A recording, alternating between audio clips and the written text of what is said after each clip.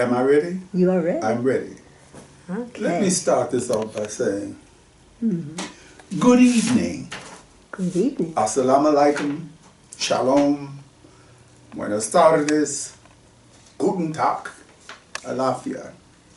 My name is Odie Hawkins, and I'd like to answer a question that a few of my friends, the readers of my book, have asked. Why do you keep switching genres on us? Your books seem to wander all over the place. Okay. I can appreciate the question, and I would like to answer it by saying I feel the human condition and all of what that means is my genre. I mean, who said that I'm supposed to be just a a, a, a, a country and western singer Yes. or a mystery writer or a detective story, you know? So that's the answer to that. Or a poet. A poet. Yes. Yeah. All right. Uh, for example, okay, for example, there's a there's a strongly devout anti-racist thread running through all of my 30 odd books. I have a number of concerns that I've interwoven within the fabric of my works. For example, I think there should be complete equality between men and women, all men, all women. Uh, whoever is the best qualified for the job should get it. And uh, I learned that from my mom, who showed me early on who was uh, the strongest. She was. And she wasn't lifting weights, uh, she didn't have any muscles, but she had a powerful way of making you understand who was the boss. So, that's all I'll say about that. Okay. Uh, anyway, all I'm saying is that I find one genre too limited. So, in this book, Lost Angeles, let me move my cup out of the way here for a moment.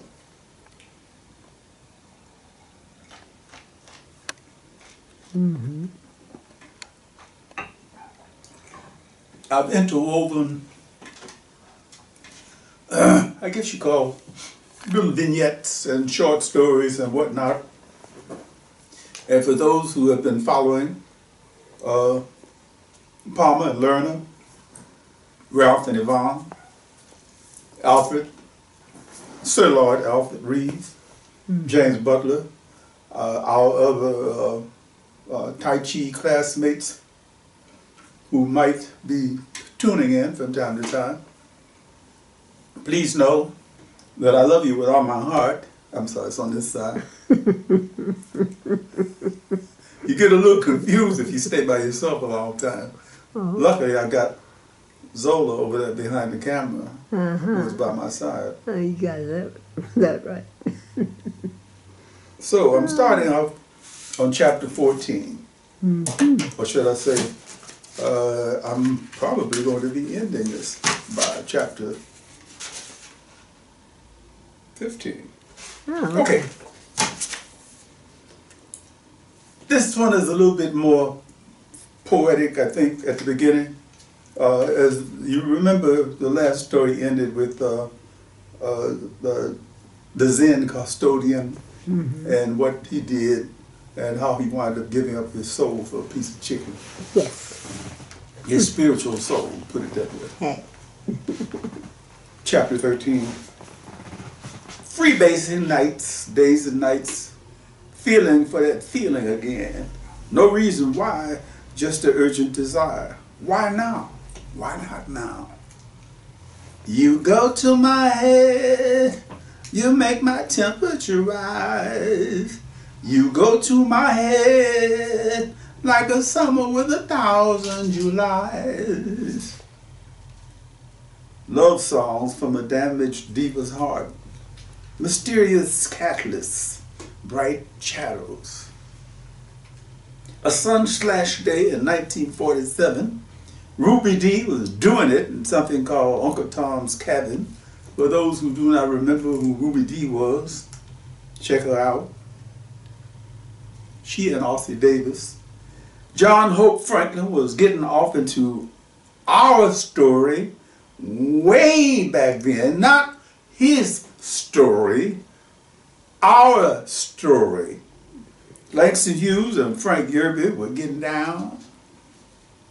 each in his own way, and Jackie Robinson broke the color bar in big league white skin baseball.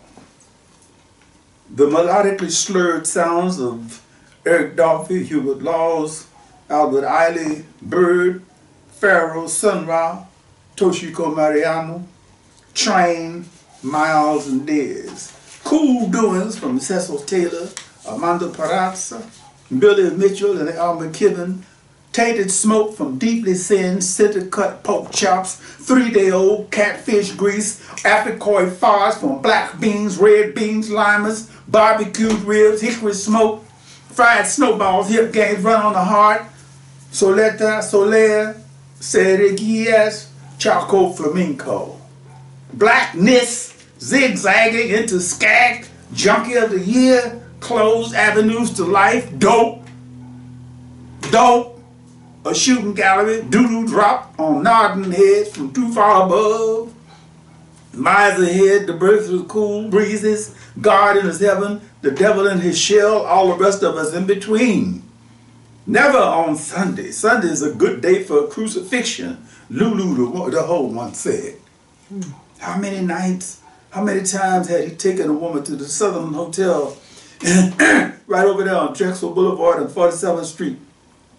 The, the Southern Hotel and Lounge did Sassy Vaughan, Charming Carmen McRae, Trains, Train, Train, Cannonball, McCartina, Elvin Jones, Polynesian things going on in 401. Snatches of all kinds of music, music mixed with, with sub-Saharan chorals, ouds, canoons, heavy splashes of musical textures on the brain.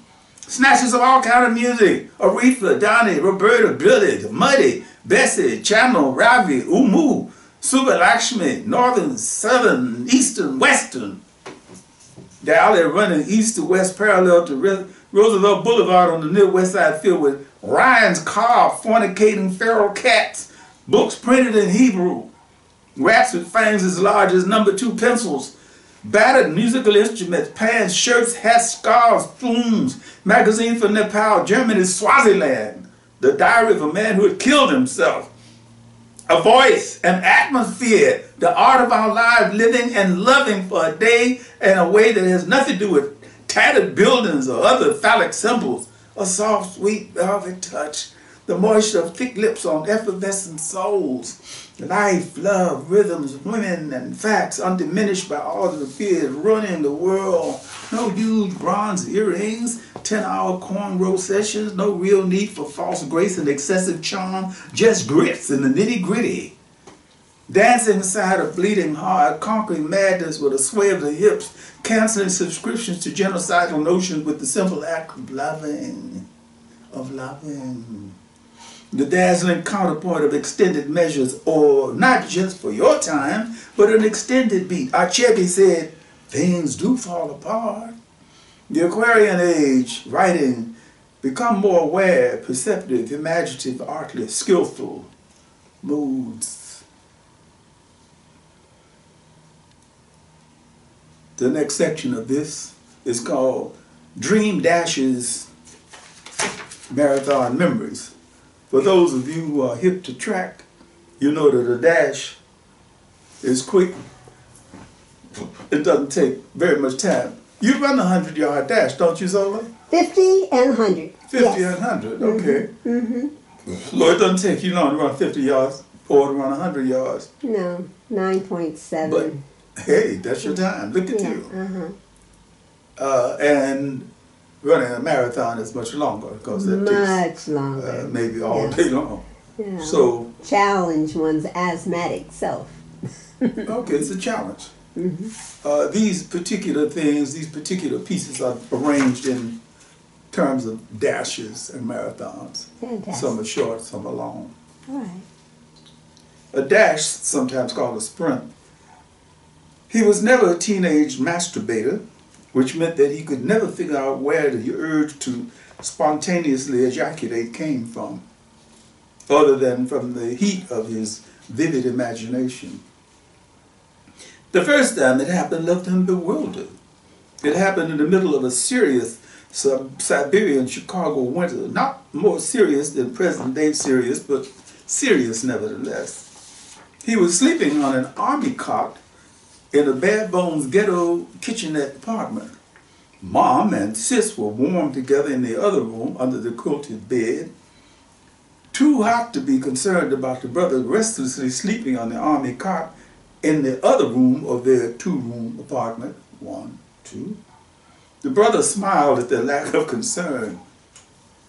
They were being warm together under a couple of ragged-ass quilts, but he felt he had the upper stroke because he had access to the four burner with the oven. He had discovered that he could place his cot in front of the lowered oven door like a warm moat bridge, cocoon himself in his army surplus blanket, and stick the crown of his head of his skull into the blue-white flame of the oven coils, just far enough, not too far. Otherwise you have a roasted black head. And within minutes, especially if he covered his freezing head with the lower side of the blanket and his own fervent breathing, he could, he could be warmed off to sleep. Or wherever the gradual warming took him to ahead in the oven orgasm. It was sudden and complete. He felt the inside of his boxer shorts, snotty with exploded semen. He lay there, his right hand squeezing his dick for more of his delicious feeling. Nothing. Nothing. After a few minutes, he made several decisions. Number one, no one should know about this but him. That meant covering up the evidence. Number two, that meant getting up in the ice cold room to wrench his starchy, semen, snot, dirty shorts out in the ice cold sink. And then put them back on in order to keep his secret a secret. He did that. Rinsed the overloaded, overloaded semen out of his shorts. It was years later that he discovered what a wet dream was. I'm telling you, youth is wasted on the young. Struggled back into his ice water cold block boxes, assumed the best fetal position he could manage, and drifted off to sleep with the crown of his head in the oven, praying that he would be able to feel that feeling again.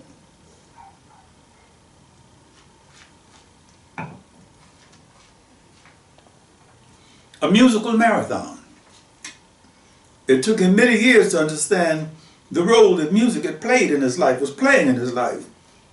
There was always music accompanying whatever he did. There were huge chunks of time when he felt that music was occupying a wall of experience in his life.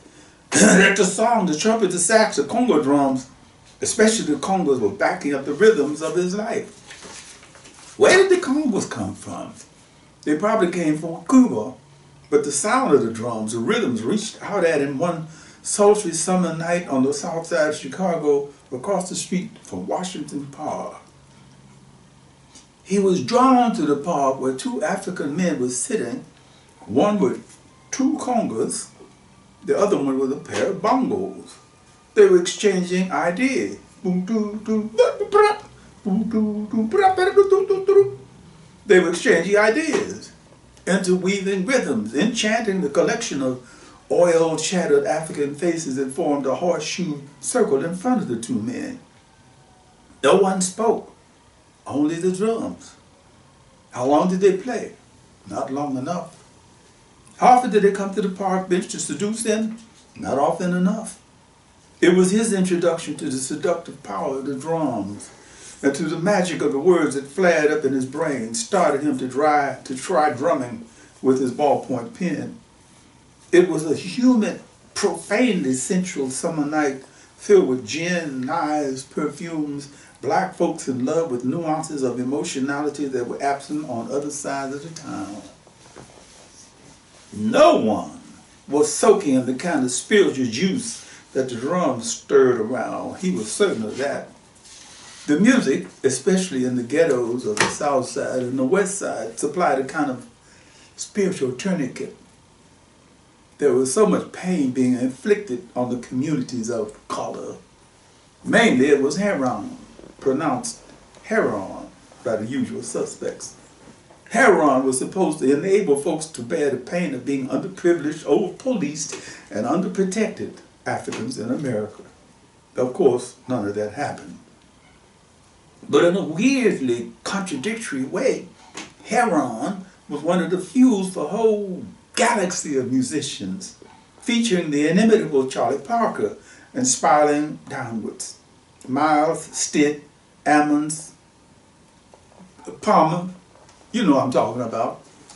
Miles, Stitt, Ammons, Prez, Billy, many others, those seduced into believing that if Bird is doing what he's doing, has done what he did, then it must be the thing. It wasn't the heroin that made them great, but prevented them from becoming greater. Bird didn't make them fix, he simply became an ironic icon.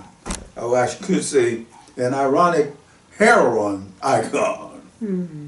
Before and after the heroin, there was the music, but there were times when the heroin simply supplied the rationale for negative behavior with no music come from anywhere.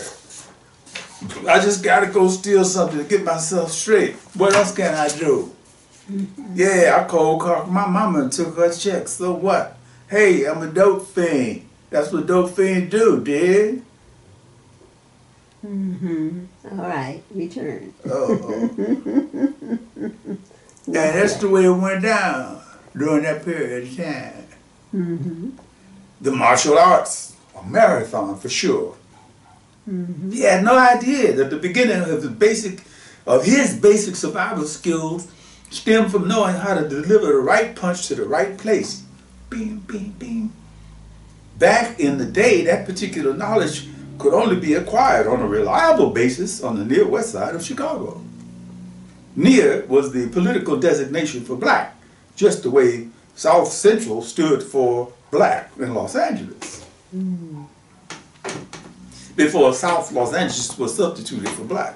Mm-hmm. Maybe the reason redesignation was necessary because so many Hispanics had infiltrated South Central. Hmm. What what what? Let's leave the demo drama to more racially demonstrative peers and get on with it. Mm-hmm. It took him a few days of reflection once he had realized the importance of the martial arts he played in his life, was playing in his life. He started doing a freeform review, fist fighting in the bare knuckles era of Chicago's near west side and near south side of Chicago. As I previously mentioned, near was the code name for black. It was his introduction to the martial art, then called Dukin. Hmm. You want to do? Mm, mm, mm. Years later, he was introduced to a more sophisticated form of duking called Hapkido. The Korean version of duking included kicking, grappling, pressure point application, using leveraging techniques to allow opponent to defeat, defeat himself. Different stuff. And Right on the heels of Hapkido came Taekwondo, hand and foot way. Another sophisticated method of duking. Each of the Korean martial arts carried a heavy responsibility to be in superior condition and in a positive state of mind. no heroin here. Later, as though all of the other martial arts had been prerequisites, capoeira regional and capoeira Angola came onto the scene. After the drudgery of struggling with Hapkido and Taekwondo, both forms of capoeira were like beacons signaling the way to a brighter path. Hmm. He gave a bigger share of the credit to Capoeira Regional and Capoeira Angola for acting as beacons for a brighter future, but he never denied the importance of learning the hard lessons taught by the Koreans, Hapkido and Taekwondo. Never give up. Never surrender to apathy and always think of what can be done to clear up a muddy situation. Thank you, Master Lee, Master Ken, Raymond de Silva, the spirits of the Dojang. Mm. Nice.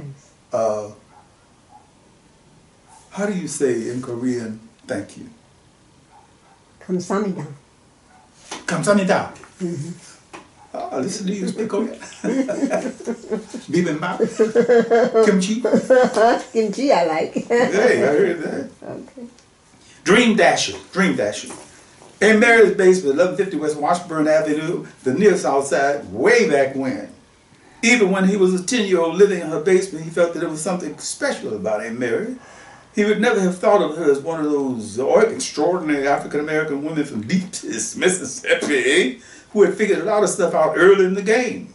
He didn't become aware of what she had figured out early in the game. He didn't become aware of what she had figured out till years after he had moved away from the basement and the circumstances she had shared with him. She never worked for the white folks. That was a fact that really meant a lot when many African Americans were held in wage peonage or worse. She had never worked for the white folks. And as the owner of a weekend gambling spot, she had the white folks working for her, in a sense. He would always remember the Friday evenings when Tarzan and Short Coat, Tarzan and Short Coat, mm-hmm. two of the local bribe scrounging cops would slither down into the basement to try to squeeze a bit of bread off of her. Uh, look, officers, mm-hmm. now I done told y'all that uh, I know y'all need money, but the game ain't really going on yet. The heavy rollers ain't come in yet. I ain't taking, I ain't took in too much. So I can't give y'all but forty dollars. Why don't y'all come back a little later for a few more coins? The heavy rollers is in uh, on the way. Oh, come on now, Mary. You can come up with more than forty bucks. Hey, look here, Short Coat. Because he wore an overcoat that was too short for his six foot plus frame, she told him. I didn't tell y'all I ain't made no money yet. Come back later and I'll see if I can sweeten up that 40. Standing up to the bribe scrounging cops made a big impression on him. How tall was she? Five, two, or something like that? And strong. Strong. Sister was strong. Dash. She was married to a man named Percy, but their marriage seemed to be more of a business arrangement than anything else because she had lovers, larger, younger, and darker. Uncle Percy didn't seem to notice. And if he had, he probably would have killed somebody because he had served 11 years in Leavenworth Penitentiary for uh, shooting a man across the table in a gambling house who had cheated, some cheated on him and cheated some money from him. And uh, I believe the pistol held uh, maybe nine shots, something like that. And he reloaded with the other nine, ten, eleven and he loaded his pistol with the other two bullets in there and shot him, shot him 11 times. So he went to uh, Leavenworth prison for 11 years, and they used to call him 11, 11, 11, because he had shot the man 11 times, been sentenced 11 years in Leavenworth. so he was not a punk. and Mary was bold, I'm telling you. To say the least. Uncle Percy died. Hey, I heard that. Mm -hmm. Uncle Percy was a marathon man. This is chapter 14. Mm -hmm if ever there was one. Physically, he could have been one of the latter-day Kenyan Ethiopian 24-mile champions or brother of Mahatma Gandhi. Hmm. He was small, but he controlled the Friday, Friday Saturday night crap games. Hmm. Most of the men who came down into Aunt Mary's basement to gamble were physically bigger. Chicago stockyard workers who slugged cattle in the head for a living. I went to the stockyard one day with Uncle there was a man standing over there like they had cattle coming up a ramp, mm-hmm. and he would slug him in the head with a 16 pound sledgehammer. Yes. I never saw anything that devastated in my life. Mm-hmm. He knocked them dead. Everyone. Wow. Yeah. All day long. All day long. That's what he did. They all. Mm, that must have helped his psychic a lot. I'm sure he took a break for lunch, but you know, who knows. Chicago's dockyard workers who slug cattle in the head for a living or cut up pieces of beef wheeling past them on an assembly line. But they all had mad respect for Uncle Percy.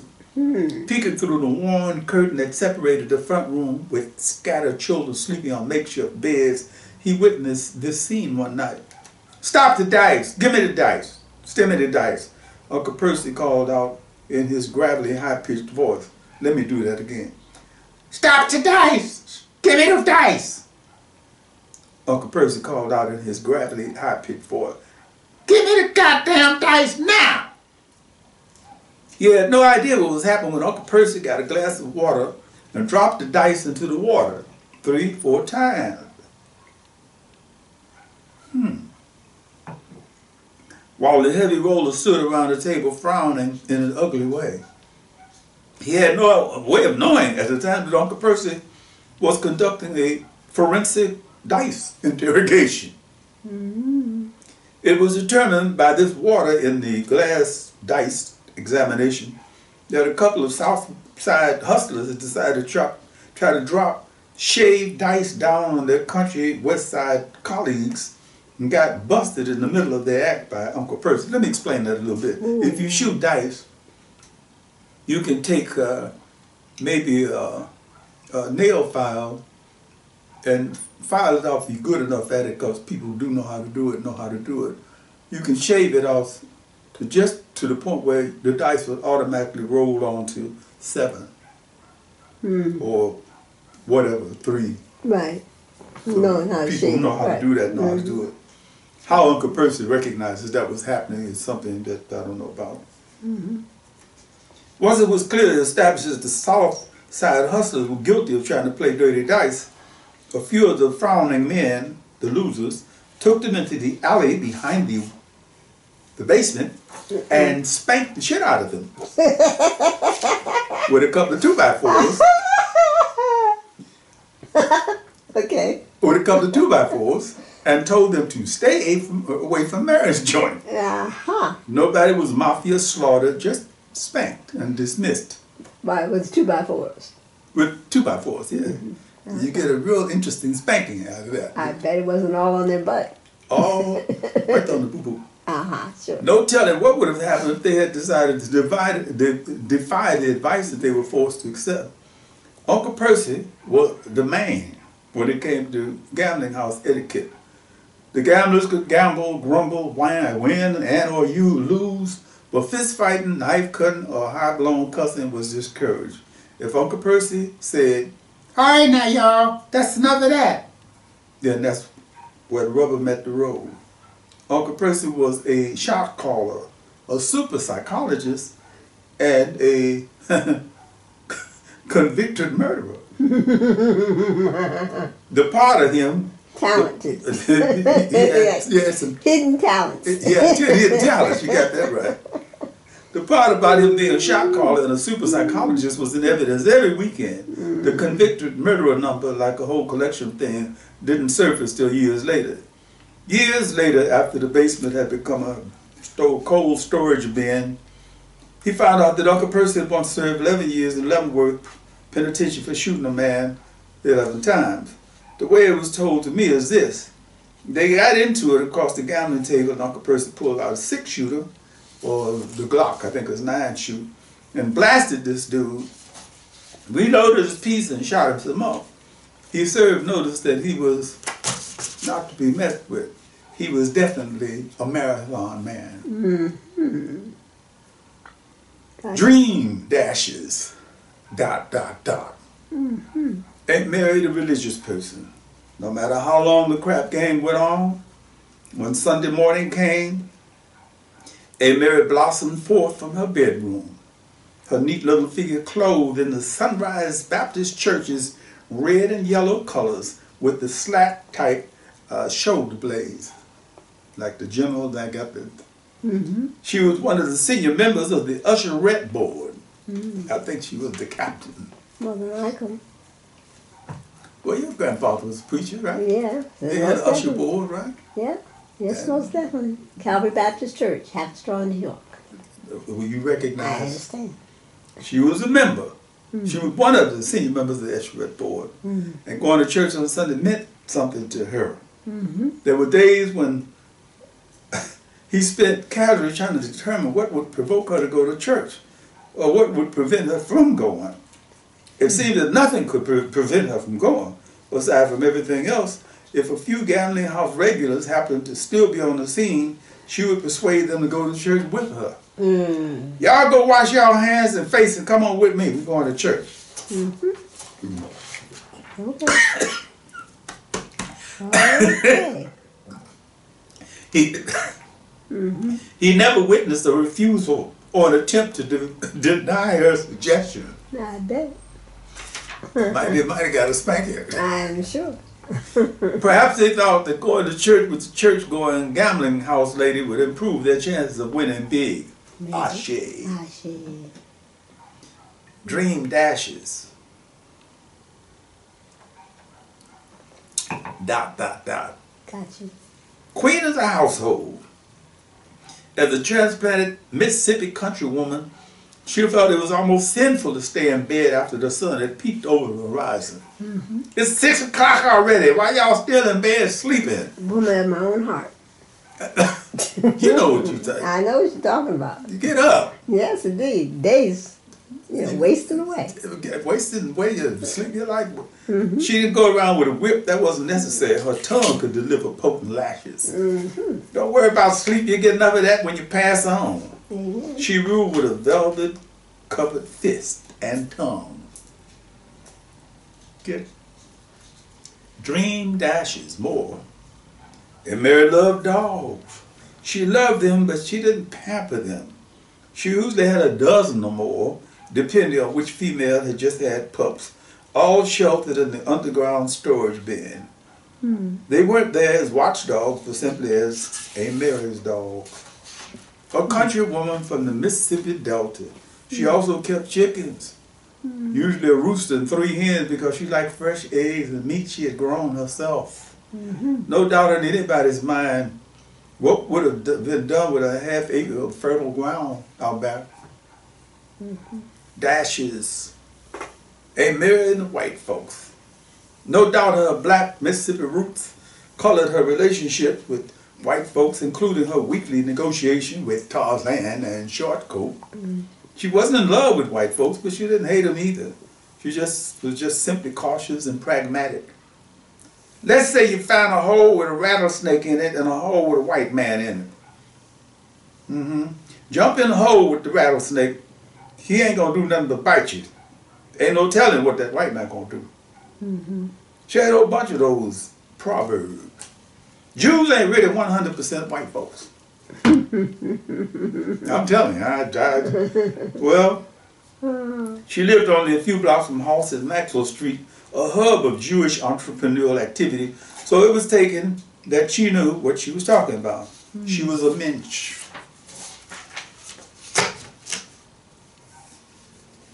This is called Back Porches, and it's for Queen Zola Salena. Back porches. Excuse me, let me wet my whistle.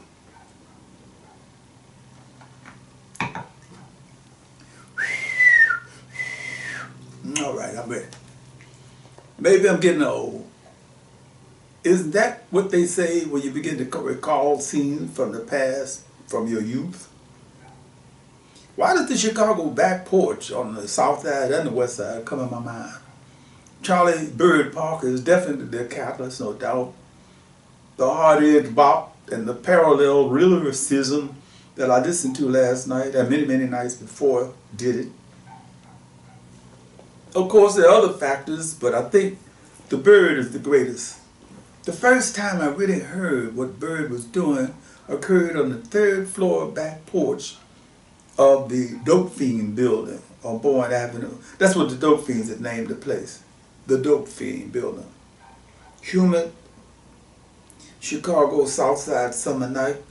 Extravagantly fragrant aromas drifting up from the garbage cluttered alley down there. Mysterious giggles and seductive laughter spilling from the porch above and bubbling up from the one below. Deeper, more sensual sounds flavoring the atmosphere from the enclosed porch next door around about midnight. There are three of us on this set Bobo, Mooney, and me. We are generously rotating two short dogs of Richard's Wild Irish Rose and four semi spliff sized joints. Bobo's idea. Hey, if we're gonna get high, then let's get high. Bobo was always being grandiose. Hmm. Bird is blowing star eyes. Da da, spa da da da da da da da, ba da da da da da dee da, la da da dee da, ba da, da da da da da da, something that comes close to that. I don't have my horn with me. Hmm. Too bad. Bird is blowing blue star eyes, and we three are sprawled back in a starfish circle. Bobo with his head on an ancient stray sofa pillow. Mooney has rolled his t-shirt into a headrest, and I have woven a basket of my fingers on the wooden planks of the porch. All of us gazing into a sky that Bird and the chemicalized wine and potent herb had created for us. Bird sounds blend with the sky. The moon sways and smiles with his rendition of Mama Inez. Da da ba da da da da da da da da da da stars do ethereal mambos with my blue suede shoes.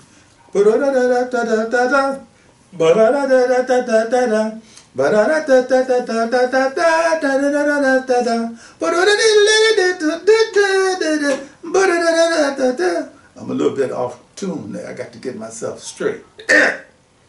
stars do ethereal mambos with my blue suede shoes and from time to time simply recognizes the musical simply recognizing the musically infinite, one of us will say, "Hmm, did you hear that? Play that back."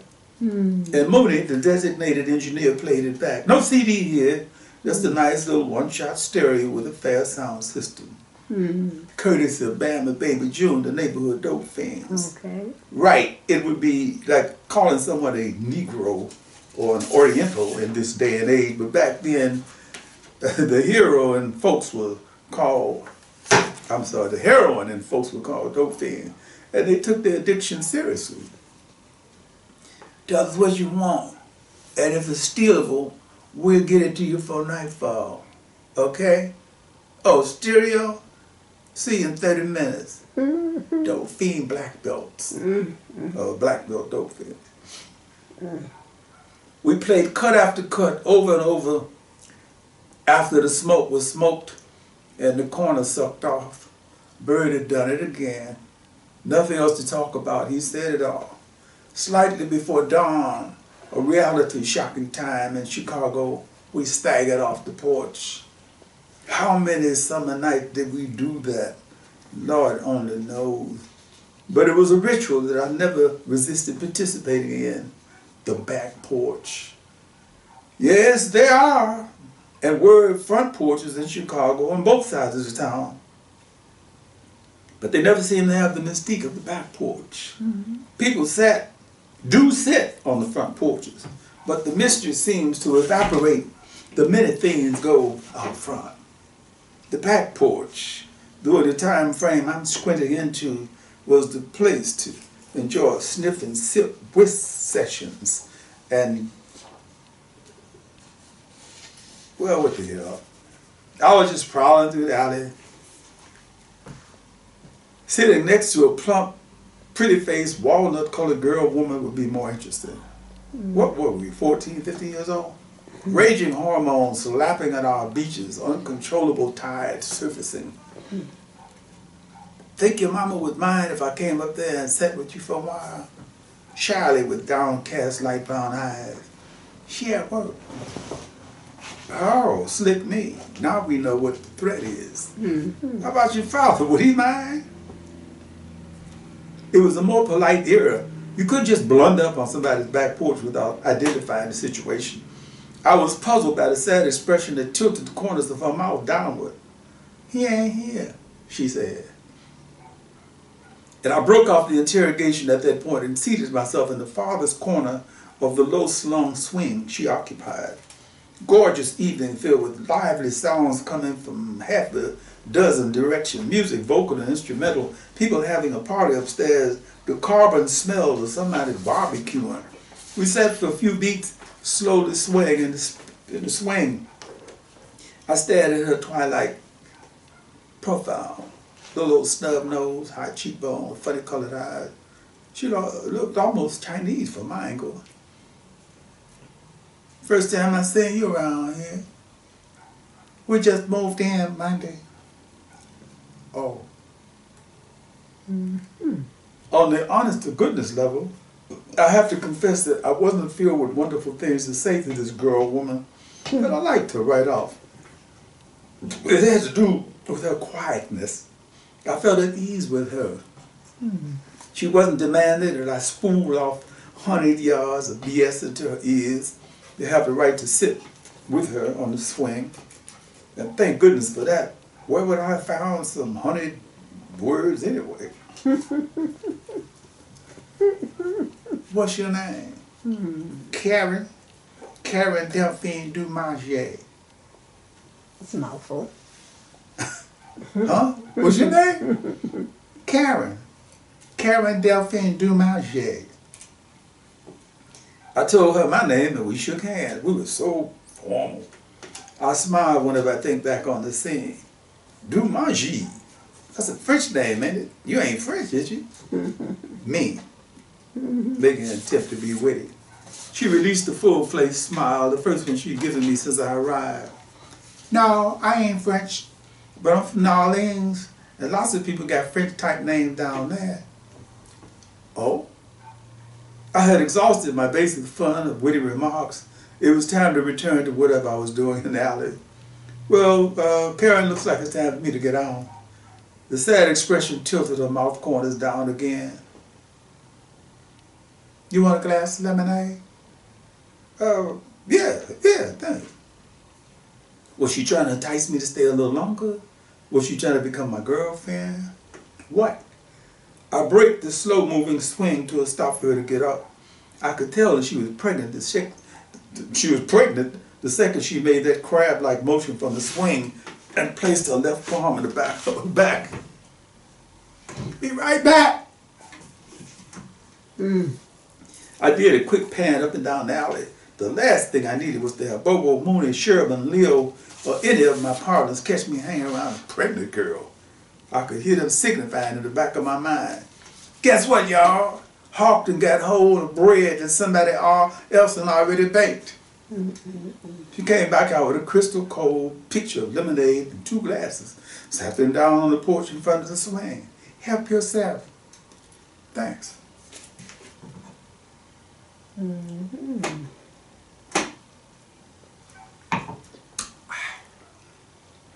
I poured us glasses of lemonade and settled back on the swing.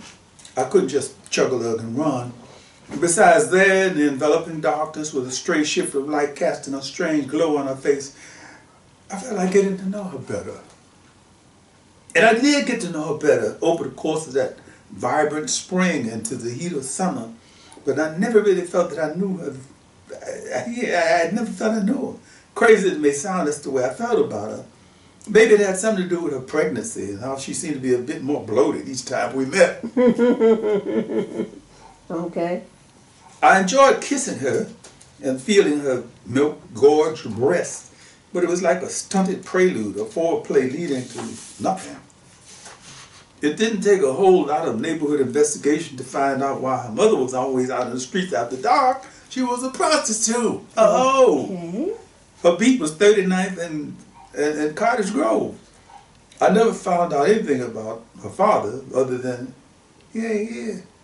Hmm. Summer was melting when she, belly out to here, informed me, we leaving. Oh yeah, where y'all moving to?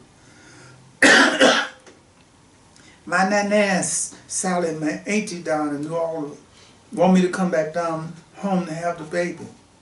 I think it was the first time she'd ever mentioned that she was pregnant. I was too embarrassed to talk about it. A few more strawberry sweet popsicle kisses and she was gone. No lingering hugs, no bittersweet tears. Hmm. Bye bye, gone. Hmm. I watched the winter snows inch up on the swing we used to sit on and remembered that was all I could do. Many birds later hanging out with the wild ones in San Francisco's Golden Gate Park. I stared at this snub-nosed, walnut-colored profile sprawled on this blanket, five yards to my left. Karen? The body was leaner, but more curved. The light brown eyes flaked from late nights and drugs. Karen? I thought it was you. I just knew it. We folded ourselves into each other's arms and just stood there gently squeezing for a long beat. The boyish looking white girl who had been sprawled out beside Karen stood next to us looking puzzled. Oh, this is my friend Jean. Jean flicked a quick smile in my direction, grasped my fingers in a pseudo handshake, and circled Karen's waist defensively. Jean, this is somebody I used to know from Chicago. Another quick flickered kiss, uh, flick, quick flickered smile. It was time to move off the turf. Nice to see you again, Karen.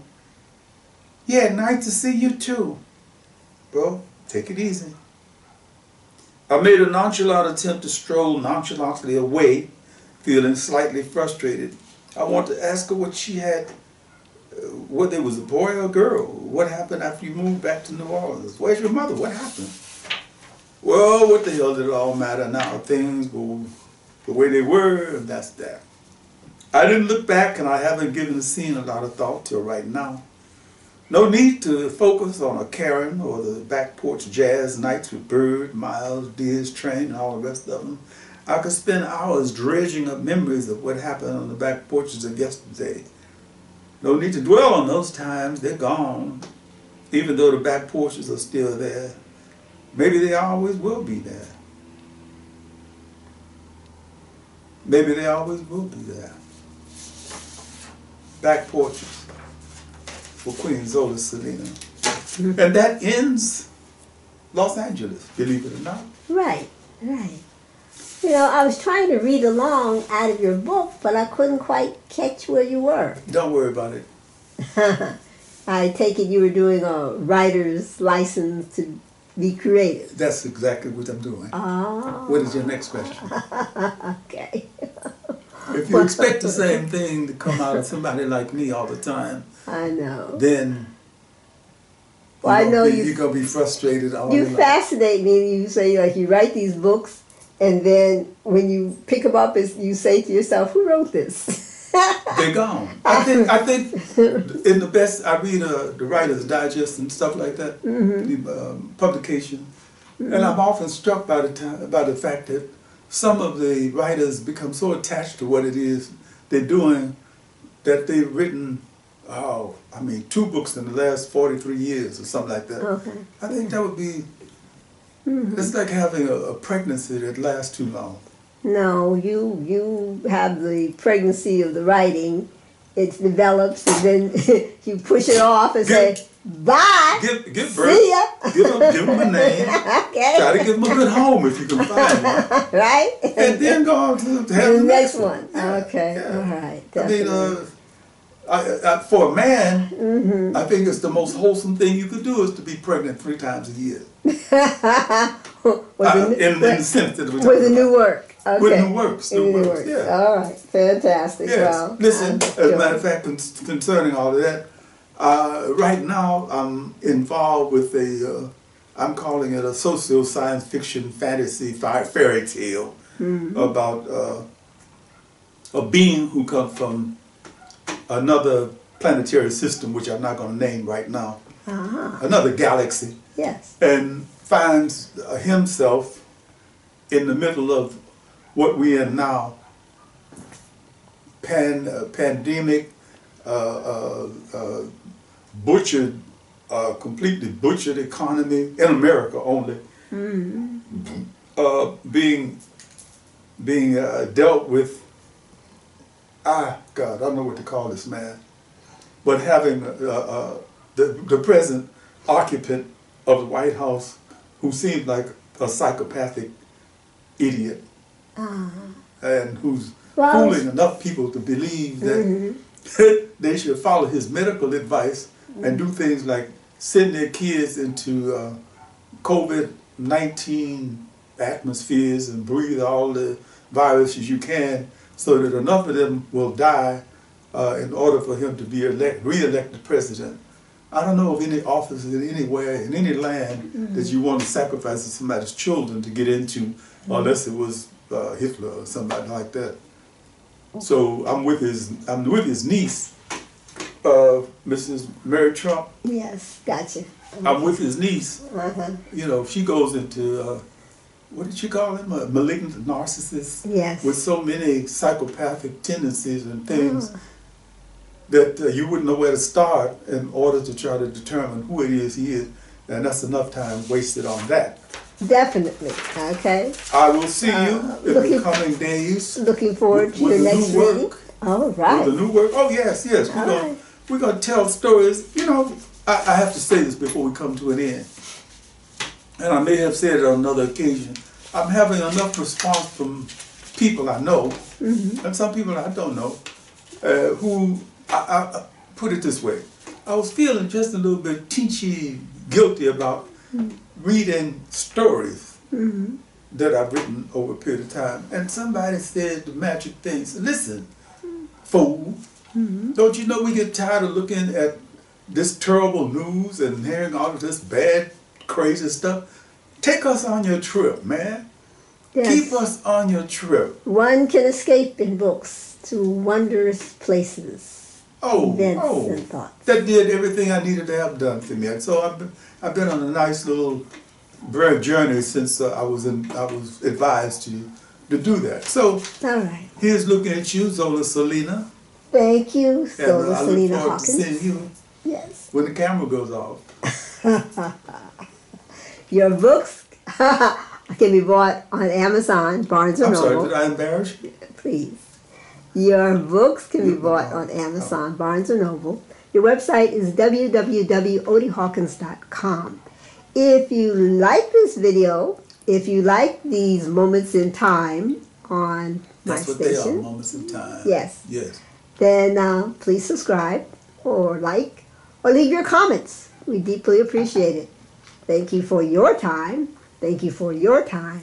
And thank you for your time. Ashe. Namaste. Namaste.